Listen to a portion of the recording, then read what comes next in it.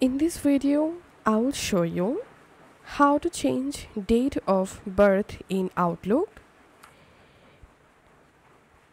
To change your date of birth for your Outlook, you have to open the Outlook in browser. And then make sure to sign in to your account. And now click on your profile photo here.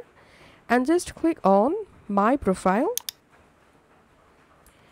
and then you will directly jump into Microsoft account profile page.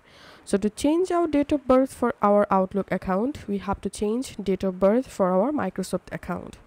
Once you are here, under profile info, here you will see this date of birth option. Just click on this arrow icon.